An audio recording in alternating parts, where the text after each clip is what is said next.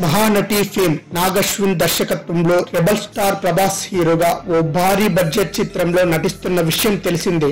Vyjayanthi movies నిర్మిస్తున్న ఈ మూవీలో దీపికా పదుకొని హీరోయిన్గా నటిస్తుంది. ఈ మూవీకి సంబంధించి ప్రీ ప్రొడక్షన్ పనులు జరుగుతుండగా ఈ ప్రాజెక్టుకు సంబంధించి మరో ఆసక్తికర విషయాన్ని మూవీ యూనిట్ అధికారికంగా వెల్లడించింది.